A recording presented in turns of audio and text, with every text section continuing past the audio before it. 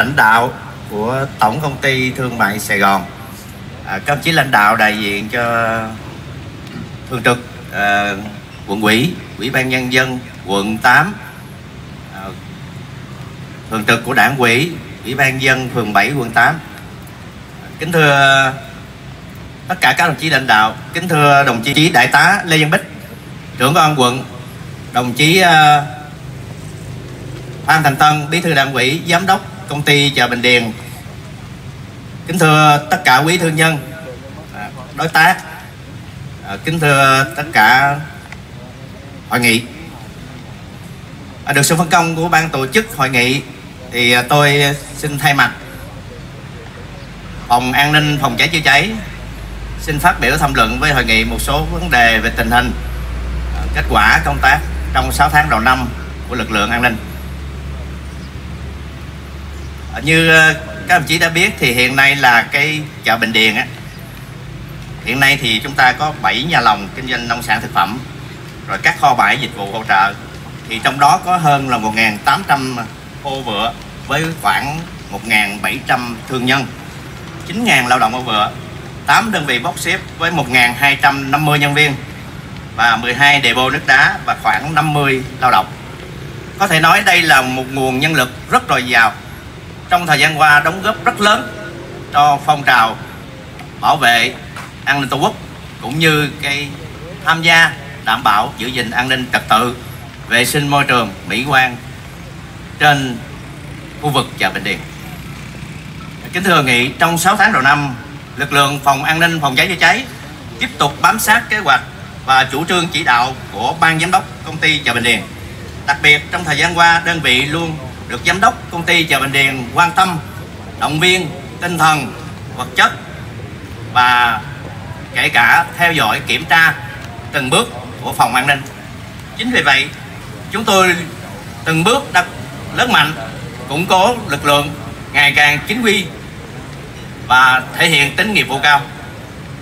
Qua đó nhằm nâng tầm nhiệm vụ của lực lượng công ty chợ Bình Điền đáp ứng yêu cầu của tình hình chợ được sự chấp thuận của tổng công ty ngày 22 tháng 6 năm 2022 giám đốc công ty chợ Bình Điền đã có quyết định số 88 đổi tên phòng bảo vệ thành phòng an ninh.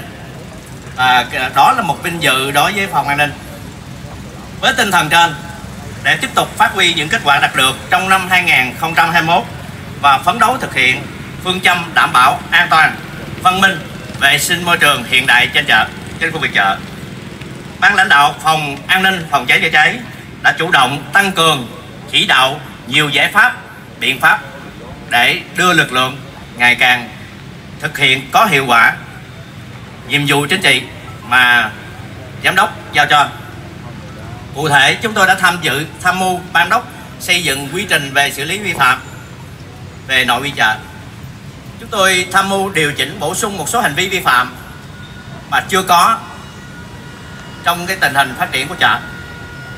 Bên cạnh đó thì chúng tôi chủ động xây dựng kế hoạch năm 2022 với từng lộ trình công việc, từng bước, từng tháng, từng quý và bám sát vào đó chúng tôi xây dựng lộ trình thực hiện. Tùy tình hình diễn biến, chúng tôi sẽ đưa ra biện pháp, giải pháp làm cụ thể, thực hiện, tuyên truyền, vận động, tạo sự đồng thuận của bà con thương nhân và các đối tác trên chợ trong vấn đề giữ gìn an ninh trật tự. Sau đó chúng tôi mới tiến hành một bước là kiểm tra, xử lý. Chính vì vậy thì phần lớn những công việc làm của phòng an ninh đều được sự đồng thuận của bà con thương nhân cũng như các đối tác trên chợ và đáp ứng yêu cầu đặt ra đối với ban đốc đối với phòng an ninh.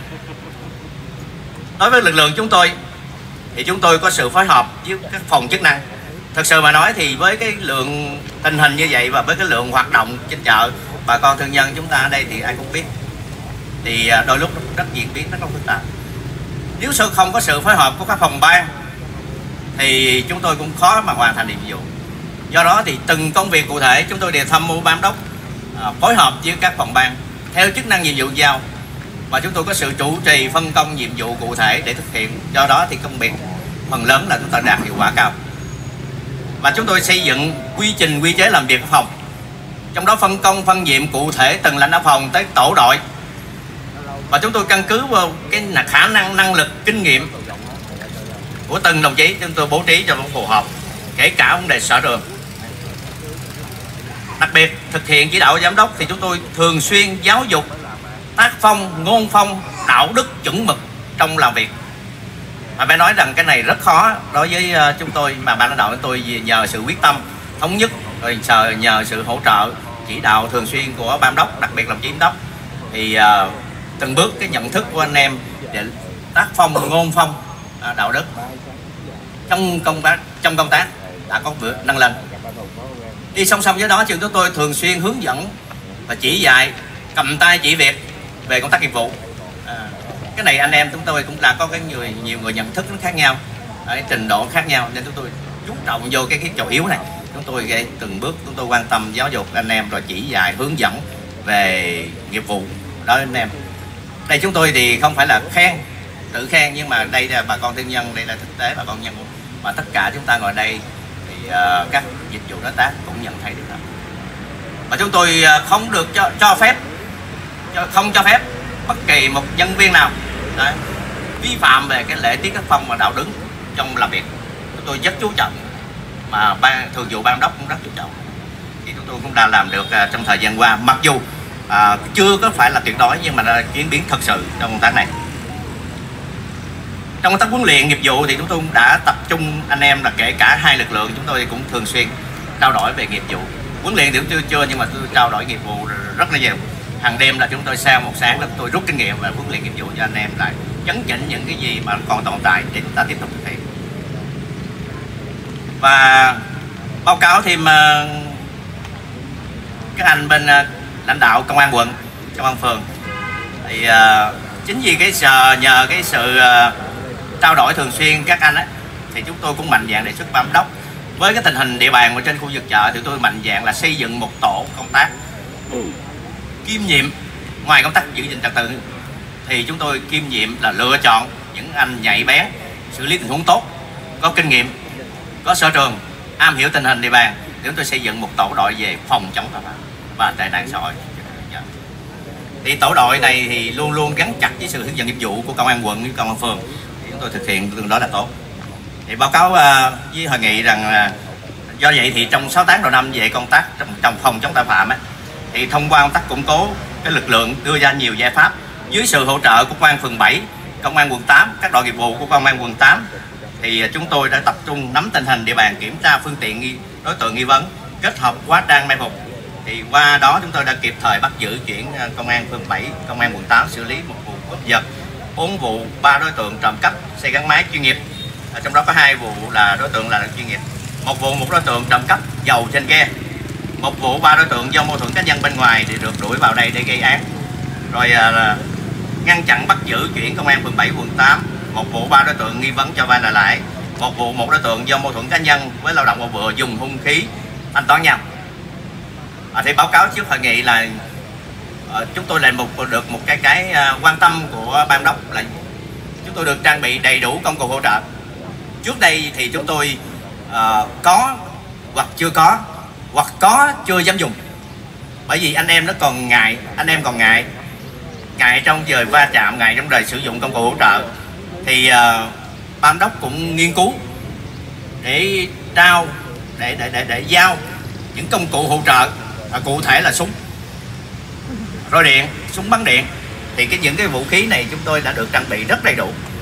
Và để trao được để cho anh em mạnh dạng thì chúng tôi cũng có huấn luyện nghiệp vụ sơ qua về anh à, với bản thân tôi về vấn đề nghiệp vụ thì tôi cũng có chút thì tôi đã huấn luyện đại anh em cách sử dụng công cụ hỗ trợ.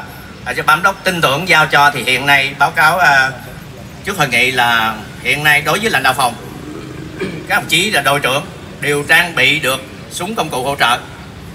Và nhắc tới đây thì tại tôi tôi nhắc tới cái này là cái vụ mâu thuẫn đánh nhau và dùng hung khí chém nhau. À, mâu chỉ mâu thuẫn về vấn đề là, là, là, là tình cảm thôi. Thì chúng tôi phải à, phải chúng tôi phải bố trí lực lượng là truy đuổi và dùng công cụ hỗ trợ dùng súng công cụ hỗ trợ chúng tôi là là, là uy hiếp lại đối tượng thì mới bắt giữ được đối tượng. Nếu không có công cụ hỗ trợ này thì cũng chưa khả năng là rất khó. Thì báo cáo à, hội nghị tiếp là trong đó là đặc biệt cái nổi của 6 tháng đầu năm chúng tôi là bắt một băng nhóm trộm cắp dàn cảnh móc túi trộm cắp chuyên nghiệp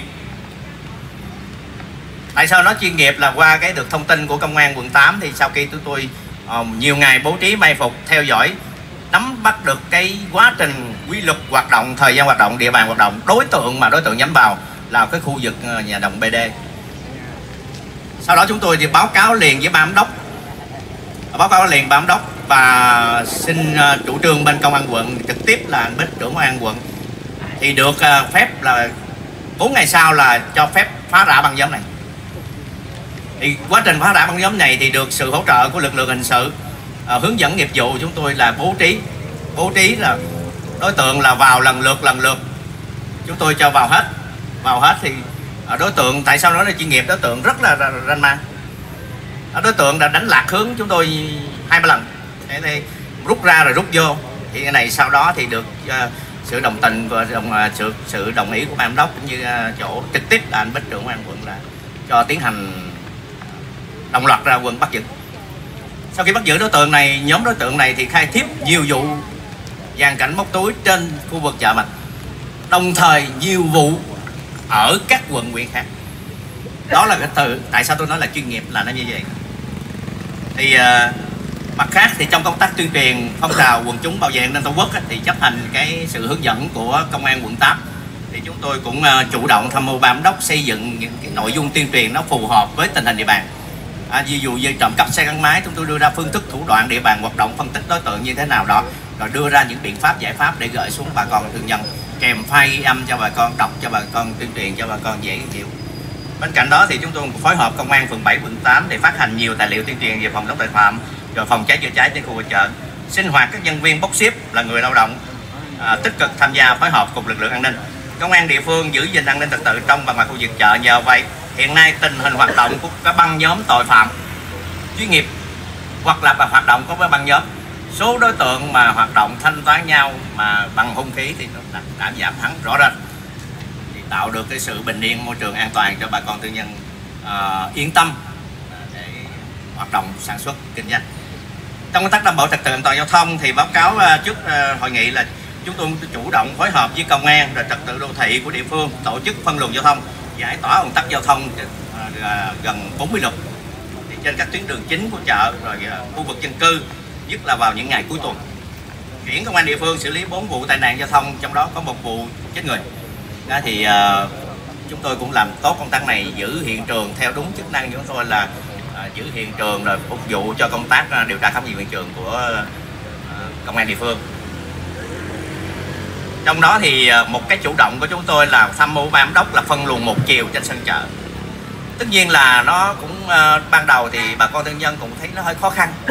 Thì, thì sau đó thì chúng ta cảm thấy cảm giác rằng là cái tình hình nó đảm bảo được an toàn về không những về giao thông mà nó còn an toàn về tính mạng về sức khỏe của bà con. Đây phân luồng một chiều. Và một cái nữa chủ động nữa chúng tôi uh, cũng xin thưa với bà con thương nhân ở đây á là khi mà ở ngoài kia Nguyễn Văn Linh bị bị là là là là, là ùn tắc kéo dài thì chúng tôi ờ, cũng xin ý kiến ban đốc là chúng tôi sẽ à, tháo chốt tháo chốt để giải tỏa ùn tắc giao thông cục bộ trong một thời gian ngắn. Chính vì vậy thì chúng tôi góp phần trong việc giải quyết được ăn giải tỏa được cái trật tự an toàn giao thông ở khu vực Nguyễn Văn Linh. À, chúng tôi cũng chủ động làm công đó mà giải quyết rất hiệu quả chỉ vòng trong vòng tháo chốt ở khúc Hoàng Đạo Thí chừng 3 tiếng. Mà hai tiếng là tình hình ổn ngay. À, thì nó góp phần cho cái công tác đảm bảo trật tự ở tầng giao thông. Không những cho khu vực chợ mà nó còn đảm bảo được cho cái khu vực tuyến đường Hoàng Trọng Linh Nguyễn Văn Linh.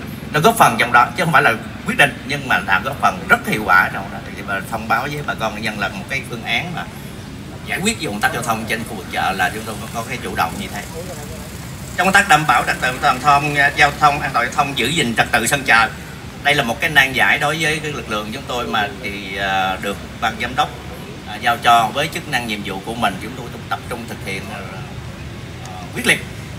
Đôi khi cũng có sự va chạm. Thì xin đây cũng xin hội nghị xin bà con thân nhân có đồng thuận với lực lượng. Khi chúng ta làm được an ninh trật tự trên sân chợ nó ổn định đó, à, bước đầu thì chúng ta thấy khó khăn đó nó phải vướng nó vướng cái này vướng cái kia rồi đụng chạm tới cái quyền lợi này cái, cái nhưng mà khi nó đảm bảo rồi, nó đảm bảo thông thoáng thì chúng ta cảm thấy rất hài lòng. Hài lòng khi vào. Mà đặc biệt là khách hàng chúng ta vào đến chợ Bình Điền, chúng ta sẽ cảm giác rằng à nó rất là trật tự, nó rất là thông thoáng. Thì đó là cũng một sự tạo cái sự phát triển chung và tạo cái khách hàng đến với cái chợ Bình Điền mình nhiều hơn và tạo cho cái ờ, công việc làm ăn của thương nhân nó thuận lợi hơn. Trong cái à, giải quyết về va chạm giao thông thì thật sự là cái này cũng ban đốc cũng rất là chú trọng. À, trong cái chạy xe trên sân chợ chạy xe trong nhà lòng như thế nào thì được. À, thì đặc biệt là các lực lượng đây có anh em lực lượng bốc xếp chúng mình à, chúng ta thì vừa rồi chúng tôi tôi cũng sinh hoạt riêng.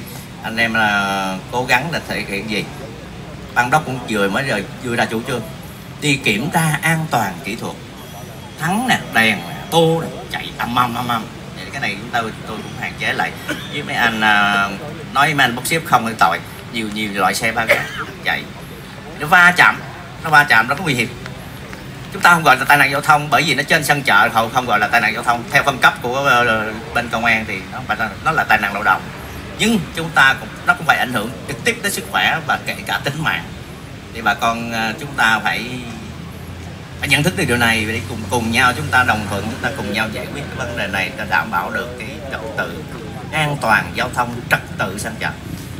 Và vừa rồi chúng tôi cũng sắp xếp lại cái trật tự sân chợ thêm một bước nữa về cái vấn đề xe. Thì trước mắt là chúng ta phải đưa xe nhập chợ ra rồi xe khách hàng chúng ta vận động thôi. Vận động để cho bà con này cũng, cũng tạo điều kiện tạo cái cái cái cái khách hàng cho thương nhân.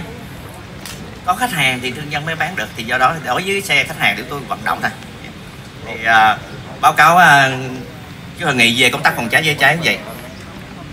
Chúng ta ở đây thực tế chúng ta nhìn không có vụ cháy lớn chúng tôi uh, triển khai công tác phòng cháy cháy rất tốt.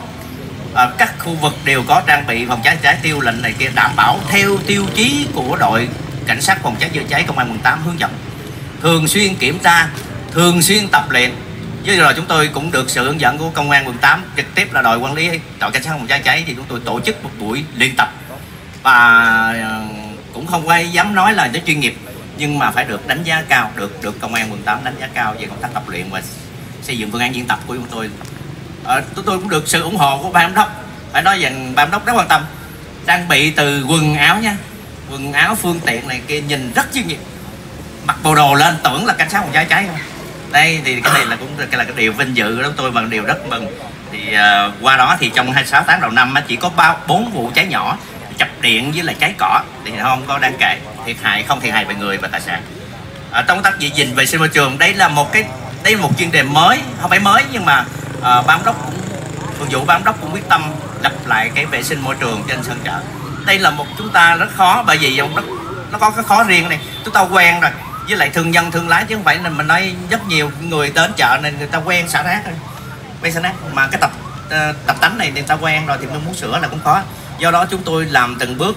Thật ra là chúng tôi cũng ờ, được ban đốc tin tưởng cũng giao cho chủ trì phối hợp với ban điều hành rồi ờ, phòng dịch vụ lý bằng rồi phòng quản lý chất lượng. Chúng tôi xây dựng lộ trình đi từng bước một. À, từ tuyên truyền tuyên truyền xong chúng tôi đi nhắc nhở. Nhắc nhở xong chúng tôi đi vào những cái đường chính. Rồi phân công ở trong nhà lòng là ai ngoài nhà lòng là ai chúng tôi phân công nhiệm vụ rất cụ thể. Từ đó thì chúng tôi thấy bước đầu đã hiệu quả. Chắc có lẽ bà con thân nhân ở đây à, chắc cũng biết bên này thì chúng tôi cũng làm cái động tác này. Đi từ nhà lòng này qua nhà lòng kia chủ yếu là vận động nhắc nhở chứ chúng tôi không nặng về vấn đề xử lý. Tạo cái sự nhận thức tạo cái sự nhận thức chung để chúng ta sẽ làm tốt thì tôi nghĩ vậy. Thì báo cáo uh, hội nghị là với những thành tích đó thì trong 6 tháng đầu năm chúng tôi vinh dự được uh, khen thưởng.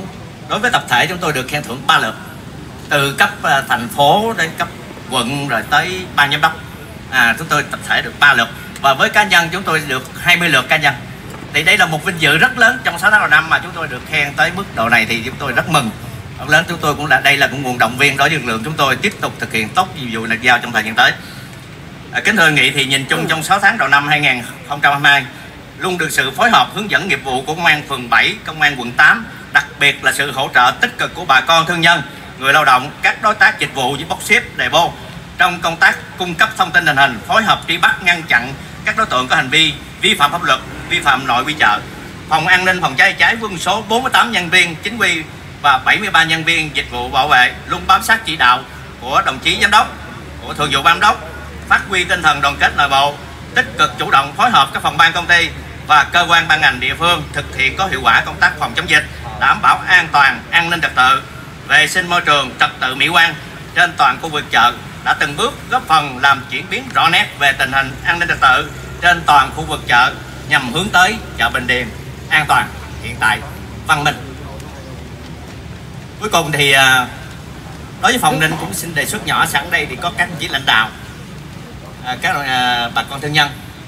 Mình có một đề tôi có một đề xuất nhỏ. À, chúng ta nếu như quá trình quá trình thực tế vậy đó chúng ta trao đổi thông tin tình hình rồi thắc mắc tâm tư nguyện vọng của thương nhân. Phải nói là chưa kịp thời. Ban điều hành là cánh tay nói dài của ban đốc. Tuy nhiên thì đâu đó chúng ta cũng chưa làm hết nhiệm vụ. Do vậy còn những cái bức xúc những cái tâm tư nguyện vọng của thương nhân liên quan đến chủ trương chính sách à, kể cả cái nội quy về quy định của pháp luật chúng ta chưa nắm hết. Do vậy thì tôi cũng mạnh dạng đề xuất. Nếu được sau này đây có à, bà con thương nhân mỗi nhà lòng chúng ta mới năm năm bảy trăm thương nhân ít nhất là năm bảy trăm vậy thì chúng ta nên thành lập một cái tổ cái tổ công tác đại diện cho thương nhân. Đối với anh bốc xếp anh có rồi ban bạn ban chủ nhiệm này cái cái giải liên hệ rồi anh đều vô anh giải rồi. Nhưng mà thương nhân mình khó có khi cả, ngàn mấy thương nhân. Mà nếu mà có cái gì đó thì mọi người chạy lên mà gặp ban giám đốc thì chứ khó ban đốc cũng khó giải quyết đó. chúng ta nên làm thành lập một cái tổ đại diện tổ đại diện cho nhà lòng mình. Mỗi nhà lòng chúng ta lập tổ đại diện. Trên cơ sở gì? Trên cơ sở là chúng ta tự nguyện tự nguyện và chúng ta bầu ra bầu ra cái tổ đội đó. Ví dụ ví dụ như tôi nói à, nhà lòng à, nhà lòng D đi. Có D1, D2, D3, D4 thì mỗi D vậy đó là bao nhiêu? Thì chúng ta tự nguyện và bầu ra người đại diện cho mình. Và chúng ta trên cơ sở người đó phải có quy uy tín phải am hiểu về pháp luật rồi uh, kinh tế văn hóa xã hội và cái nhân vật này rất rất rất là uy tín. Để đại diện cho chúng ta. Để trao đổi tình hình thông tin tình hình nè những vướng mắt bà, bà con thương nhân nè để kịp thời trao đổi với ban đốc thao gỡ. Cái thứ hai là chúng tôi tuyên truyền chủ trương chính sách pháp luật về cái quy định của địa phương của ban giám đốc kịp thời đưa xuống dưới. Và cái nữa là cái quan trọng là nắm bắt được tâm tư nguyện vọng của bà con thương nhân những khó khăn gì đó. Chúng ta phản ánh kịp thời có thể là ban đốc sẽ làm việc làm việc với người đại diện của bà con thương nhân sau đó nhờ những anh chị này chúng ta về tuyên truyền. Ở những trường hợp đó thì chúng ta sẽ giảm bớt cái thiểu những cái vấn đề mà uh, nó nó phức tạp về cái vấn đề khiếu nại rồi này thắc mắc này cái chúng ta sẽ ban bác sĩ không giải quyết kịp. Được thành lập cái tổ đội này trên cơ sở tự nguyện nha. Rồi thì ờ, tôi nghĩ là rất là hay. À, cuối cùng thì uh, phòng an ninh cũng xin tham gia một số ý kiến trong cái buổi hội nghị này với cách là vừa báo cáo lại tình hình kết quả cũng như quá trình triển khai các giải pháp.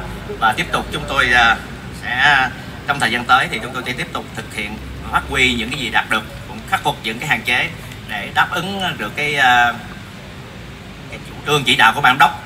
Mà đặc biệt là cái à, cái cái cái ý muốn của bà con thương nhân để góp phần trong một chút gì đó gọi là cho đảm bảo an toàn cho rồi bà con thương nhân phát triển trong hoạt động à, kinh doanh của mình. À, cuối cùng tôi xin thay mặt phòng an ninh phòng cháy chữa cháy xin uh, kính chúc các đồng chí lãnh đạo các đồng chí đại biểu các vị khách quý uh, dồi dào sức khỏe uh, thành đạt trong cuộc sống cũng như trong uh, làm ăn. Uh, kính chúc hội nghị thành công rất đẹp. Uh, xin cảm ơn